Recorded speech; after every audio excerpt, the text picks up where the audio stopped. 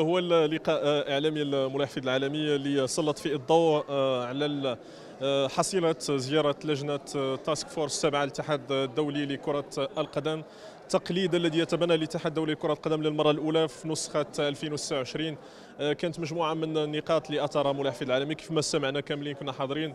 آه، الاتحاد الدولي آه، أكد رضاه التام على مجموعة من النقاط. قدم بعض التحفظات ربما على مجموعة من النقاط التقنية المتعلقة بملف المغرب لتنظيم مونديال كأس العالم.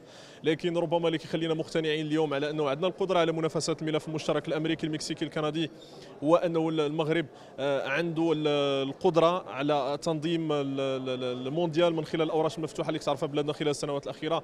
كاين فرق كبير بين المغرب 2006 آخر ملف تم تقديمه للاتحاد الدولي ومغرب 2018 إحنا قادرين على كسب التحدي وجميعا كيف ما هو شعار هذا الملف معا لهدف واحد هو تنظيم المونديال إن شاء الله.